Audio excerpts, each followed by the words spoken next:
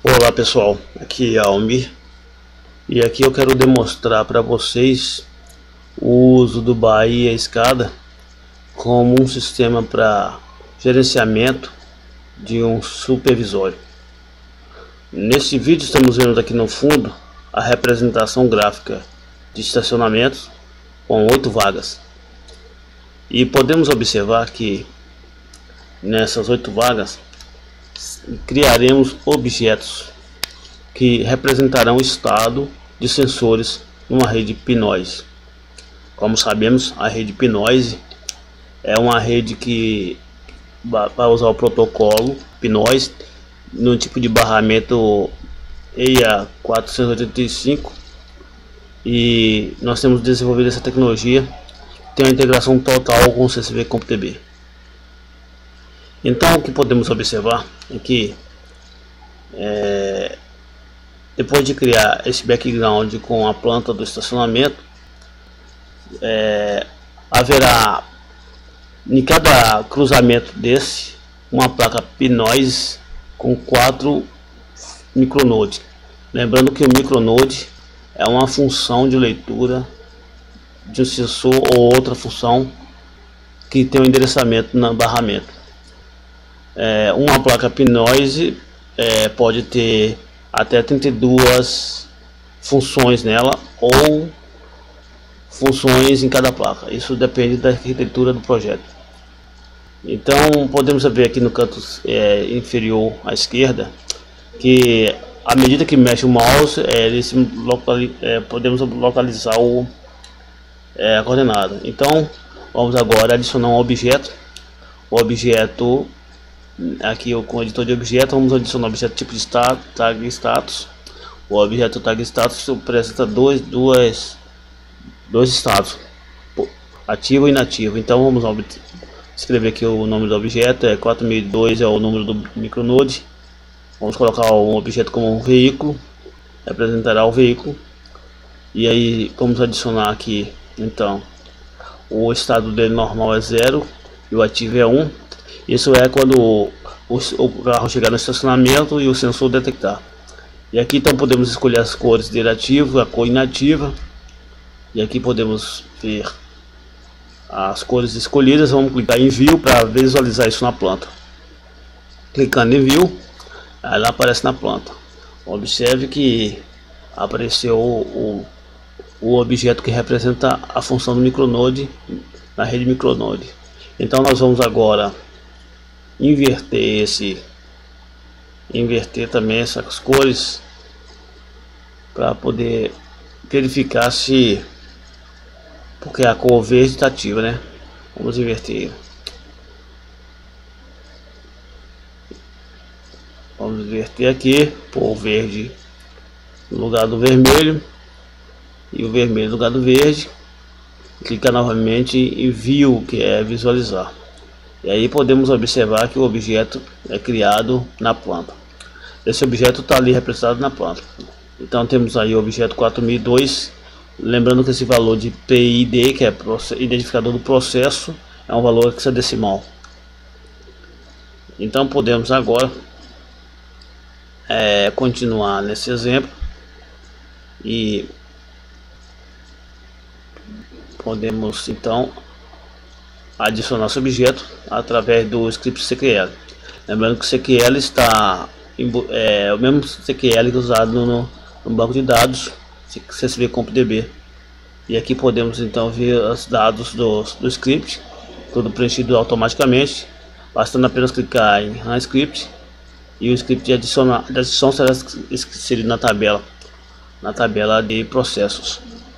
A tabela de processos é onde estão os dados do, do processo e a tabela Object Config, onde estão os, os, os dados referentes à propriedade desse objeto na representação.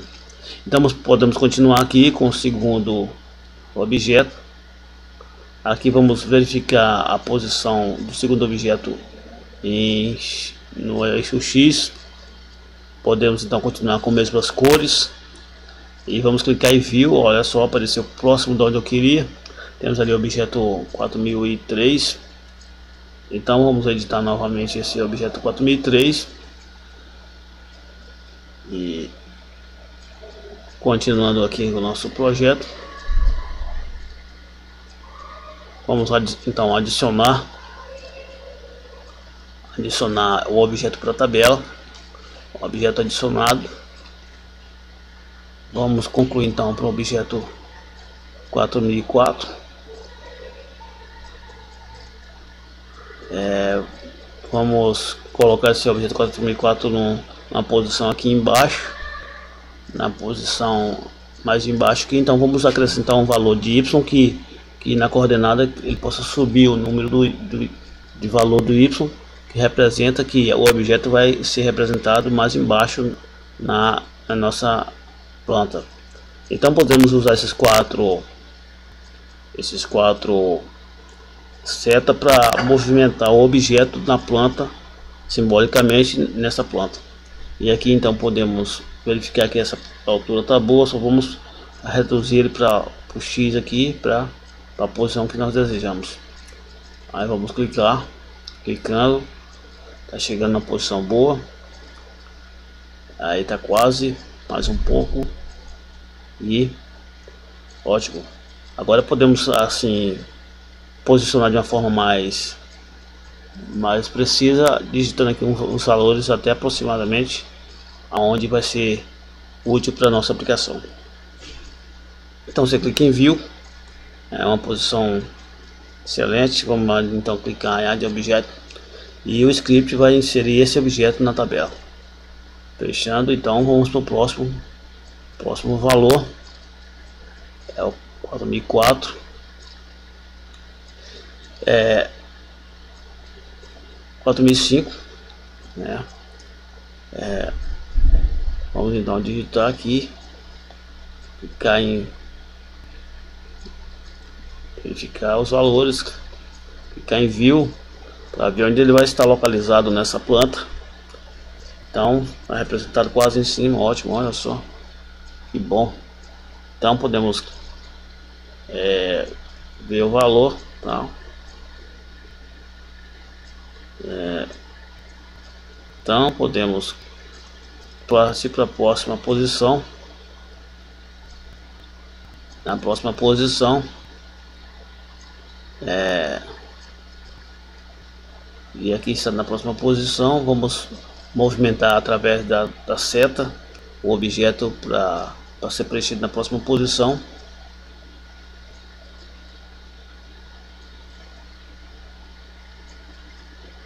e aí estamos movimentando lembrando que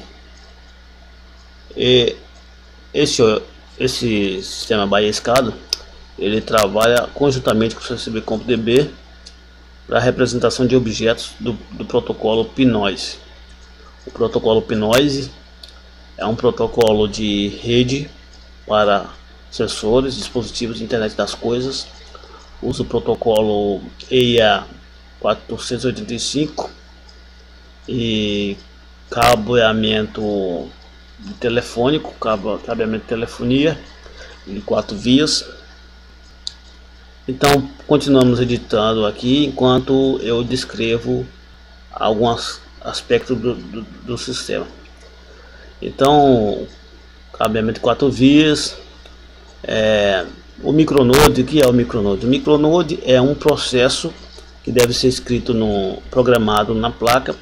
A placa do micronode são tipo são dois tipos de placa, a placa servo para servo e a placa para o master. Então a, a placa servo é uma placa que tem um microcontrolador STM8. Nessa placa do microcontrolador STM8 ele pode aceitar é, cada placa pode aceitar de 0 até 32 micronodes o que é o micronode? O micronode é um processo que tem um endereço. Então o master pode chamar esse processo pelo número do endereço. O endereço então é enviado do master. O master faz a requisição do processo e, e pode ter endereçado até 32 processos. No, no, no servo, o processo em si é o, é o recebimento da chamada. Mas dentro da, do recebimento da chamada, que é o micronode, ele pode haver aí muitas funções dentro da programação, ou seja, você pode ler com sensores, você pode ativar é, dispositivos, diversas, diversas funções. Então, o master envia a requisição, que é o micronode.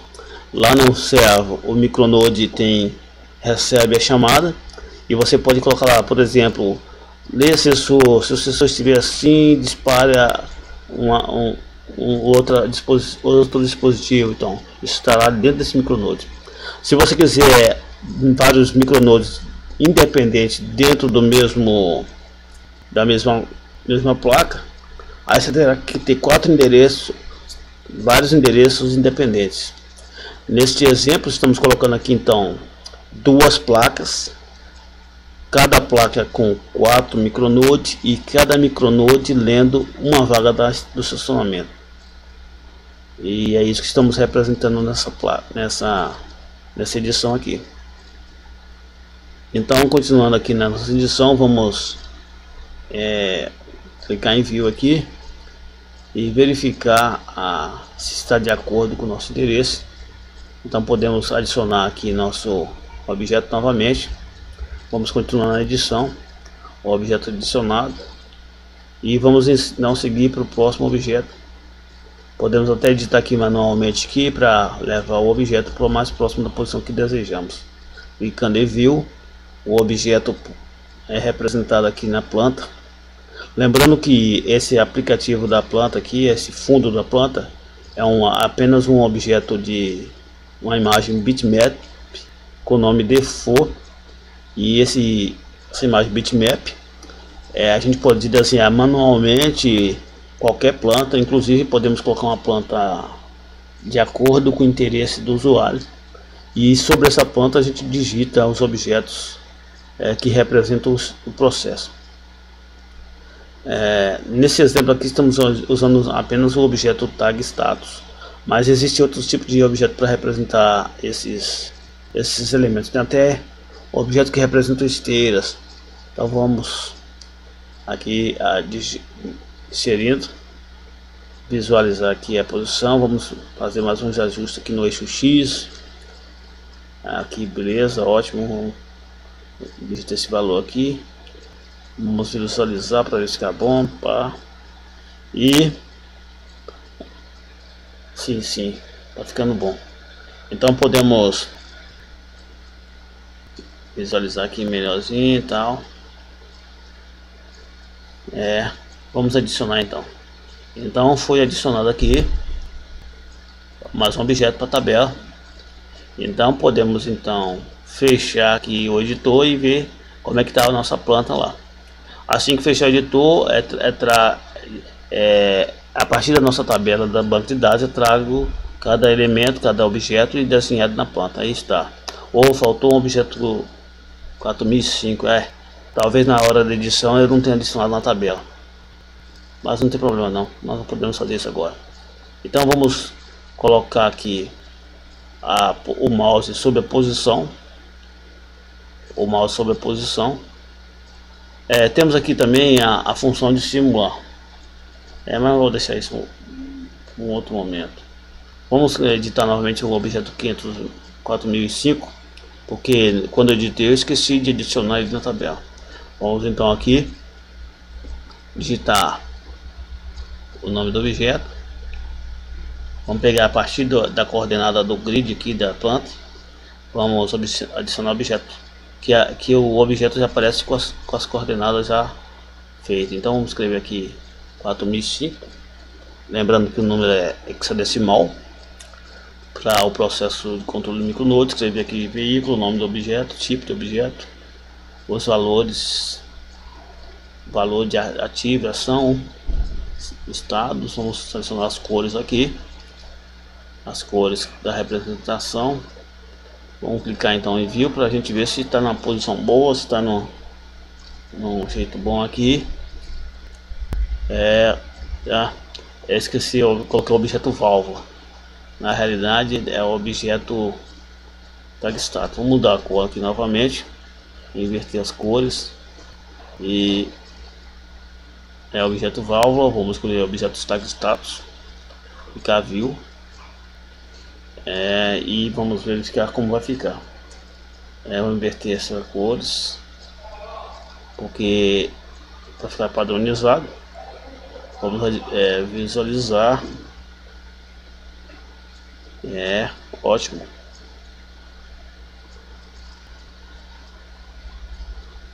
Vou digitar aqui um valor mais refinado para chegar numa posição mais centralizada.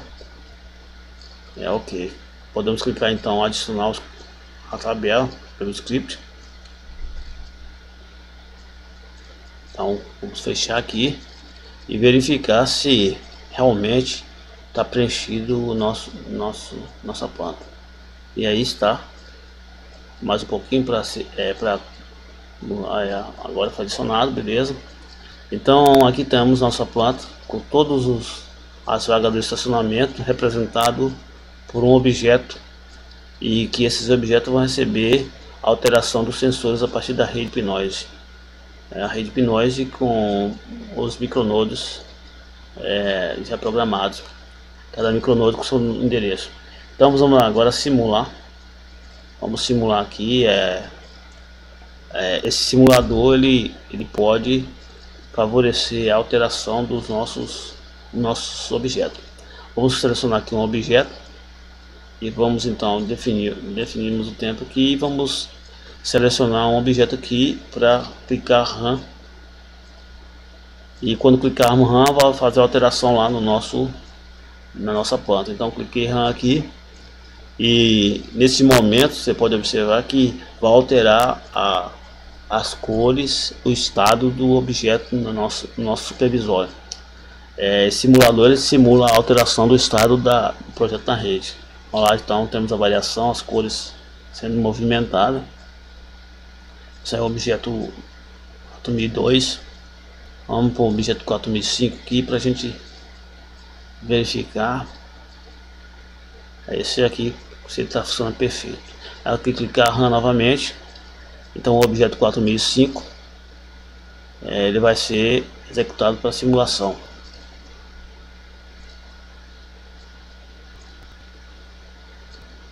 Então, aí está, ele sendo simulado. Esse, a simulação está sendo feita e isso representa a alteração do estado do objeto a partir da, da leitura do sensor na rede. Então, aqui temos nossos, nossos, nossos elementos representando um automóvel que será na vaga. Lembrando que no centro aqui terá uma placa Pinoise com quatro micronodes. Cada placa P-Noise vai controlar quatro vagas. E essas quatro vagas estarão ligadas em rede. É, essas duas placas estarão ligadas em rede e ligadas a um servidor para demonstrar a capacidade do nosso projeto. E totalmente integrado com o CSV.db, que é onde você pode baixar no nosso blog é, nosso blog é igual vocês já tem aqui na descrição do vídeo, vocês poderão ir até meu blog e estudar sobre os documentos a respeito desse projeto. Também aceito a sua doação para concluir esse projeto. Precisamos sempre estar elaborando placas, circuitos eletrônicos. Você pode doar através do meu e-mail, ou você pode mandar um e-mail que eu passo a conta para a doação. Aceito qualquer doação é, de 10 a 50, qualquer valor que você puder e a gente estará sempre disponibilizando esses documentos para a empresa, para o usuário que quiser. Eu agradeço novamente e, e até a próxima.